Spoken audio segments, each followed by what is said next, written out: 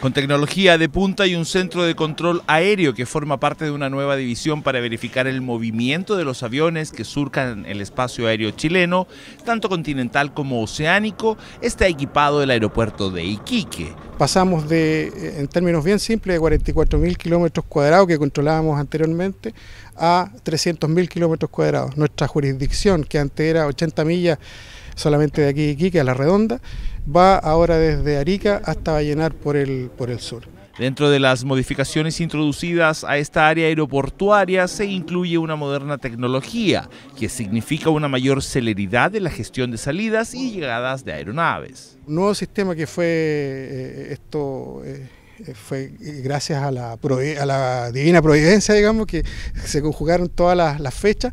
Esto llegó eh, precisamente asociado a un nuevo sistema, como digo, que eh, se instaló recientemente como lo fue el, sistema Indra, que es un sistema de vanguardia, ha sido instalado en Inglaterra, en, Argentina y en Perú, y nosotros ahora eh, concluimos con esta eh, nueva instalación, que viene a poner a prueba, digamos, el profesionalismo de todos nuestros colegas que es bastante alto. El aeropuerto Diego Aracena tiene presupuestado convertirse en el segundo en importancia a nivel nacional después de Santiago y este cambio es parte de esta mejora. Es un hito bastante importante porque nos permite optimizar nuestros servicios, los servicios aeronáuticos que proporcionamos, es decir, eh, implementando tecnología más avanzada y por otro lado nuestro ámbito de jurisdicción eh, aumenta y como se dijo anteriormente, el, ámbito de cobertura va desde Arica hasta Vallenar. Chile está dividido en cinco zonas que controlan diferentes regiones. La primera está en Iquique y controla desde Arica hasta Vallenar.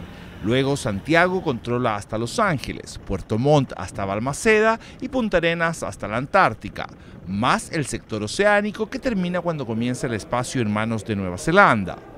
La partición tendrá un impacto positivo en la petición de utilizar los espacios aéreos chilenos. Para las compañías aéreas el volar en, la región va a ser un poquito más expedito ya que los permisos no se van a dirigir a, Santiago eh, solamente, sino que aquí nosotros estamos expidiendo permisos para volar en el espacio aéreo superior.